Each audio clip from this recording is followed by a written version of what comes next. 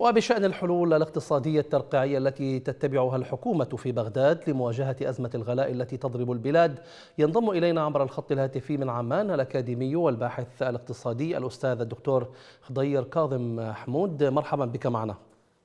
أهلا ومرحبا بك. دكتور موجة غلاء غير مسبوقة تضرب العراق في ظل تضخم كبير أطاح بالطبقة الوسطى وطحن الطبقة الفقيرة إنجاز التعبير. إلى ماذا يمكن إرجاع أسباب هذا الغلاء في العراق؟ وهل هو نتيجة يعني فشل في سياسة السياسة الاقتصادية للحكومة؟ أم أن الحكومة وأطراف ما تتعمد أن يصل الشعب العراقي إلى هذا المستوى من الفقر والبطالة؟ بسم الله الرحمن الرحيم. أن واقع الشعب العراقي في ظل هذه الحكومات المتلكئة في مختلف ملفات الحياة الاقتصادية والخدمية والاجتماعية. وإلى آخره من الملفات المرتبطة بحاجة الشعب. آه، نجد أن موجة الغلاء كان أحد العوامل الرئيسية فيها. هو تخفيض الدينار العراقي قياسا بالدولار. أي بمعنى أن تصعيد قيمة الدولار أمام الدينار العراقي نعم. أضعف القدرة الشرائية آه، الحقيقية إلى المجتمع العراقي. وبذلك آه، أدى هذا الأمر إلى توجه الجشع الذي يمتلئ تمتلئ به بطون العاملين في مختلف قطاعات الحياة الاقتصادية إلى رفع الأسعار وأدى ذلك إلى عدم إمكانية الطبقات الوسطى والفقيرة إلى تحقيق آه، متطلبات الإشباع للحاجات الضرورية كالمأكل والملبس. نعم. اذا هذا يعني دكتور هذا يعني دكتور ما تفضلت به أننا أمام سياسات نقدية فاشلة بالتوازي مع السياسات الاقتصادية الفاشلة. ماذا ماذا نفهم من ذلك؟ الحقيقة السياسات المالية والاقتصادية آه، بمختلف أبعادها سياسات خاطئة ومتلكئة وغير قادرة لإنقاذ الشعب العراقي من هذه الأزمات الكارثية التي يمر بها في مختلف مجالات الحياة التي يعيش تعيش يعيشها آه، الشعب العراقي.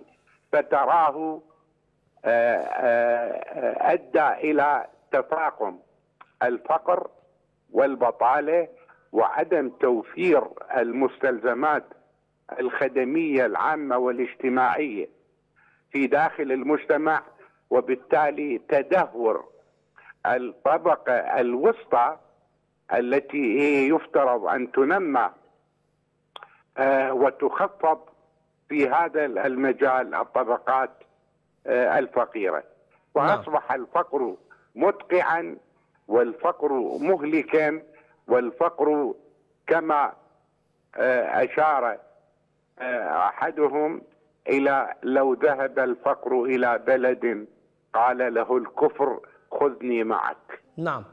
دكتور هذا الفقر آه، وهذه البطالة وهذه السياسات الفاشلة التي وصفتموها يحاول آه، بعضهم أن يتغلب عليها من خلال إجراءات لا أعرف كيف يمكن أن تصفوها من الناحية الاقتصادية. آه، على سبيل المثال ما طالب به حاكم الزامل بإعفاء المواد الغذائية والخضروات والفواكه من التعرفة الجمركية. هل ترون أن هذا الحل يمكن أن يحل أزمة الغلاء الموجودة؟ هل هو حل جذري أم أنه آه، التفاف على المشكلة؟ لا هذا في الواقع إجراءات ترقيعية. لا تحل المشكلة أو المعضلة الحقيقية التي يعيش بها العراق. نعم. سيما وإن الموارد المتوفرة له الآن في ظل الارتفاع الهائل بأسعار النفط يستطيع بحيث وصلت إلى 120 دولار. في حين إن ال- ال- ال- الموازنة كانت على مستوى 45 دولار للبرميل. يعني أكثر من نصف. هذا المبلغ الفائض والكبير ممكن أن توفره ال- الدولة إلى آه، آه، زيادة مثلا الحصة التموينية آه، إعطاء نقود ال- إلى جانب الحصة التموينية.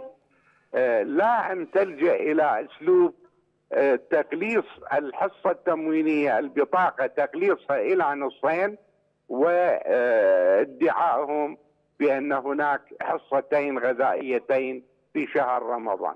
نعم ال ال ال ال الواقع آه، الحكومة الآن منذ 2003 آه، وتعاقب الحكومات المتتالية على أو المسلطة على آه، رؤوس المجتمع العراقي ليست رجال دولة وتستطيع أن تتحكم نعم بتوجيه الاقتصاد وإدارة الدولة آه، بشكل سليم. وإنما رجال جبلوا على الفساد وسرقة أموال الدولة بدل من توظيفها وتوجيهها إلى خدمة المجتمع إلى إلى العراقي. متى يمكن للمجتمع العراقي أن يحتمل دكتور آه، كل هذه المشكلات الاقتصادية والنقدية التي لم يعد بمقدوره آه، تحملها في الآونة الأخيرة؟ والله ال- يعني آه، حقيقة آه، هذا الأمر أقوله وكما أشار إليه الإمام علي بقوله عجبت لمن يبيت جائعا ولا يستل سيفه. يعني ال- ال- ال- الجائع لا يمكن أن يحتمل لأن الله سبحانه وتعالى قد وضع أو اقصد أشار إلى عبادته فليعبدوا رب هذا البيت الذي أطعمهم من جوع وآمنهم من خوف.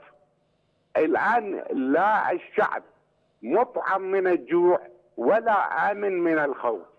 فبقاءه دون إشهار سيفه يعتبر وضعا مزريا ولا يحقق أهداف المجتمع العراقي. الأجيال الحالية منتهية وأجيالنا القادمة ستعاني وتعاني من جراء هؤلاء الذين يعملون لمصلحة أسيادهم في أمريكا وإيران. أشكرك جزيلا الأكاديمي والخبير الاقتصادي الأستاذ الدكتور خضير كاظم حمود كنت معنا عبر الخط الهاتفي آه، من عمان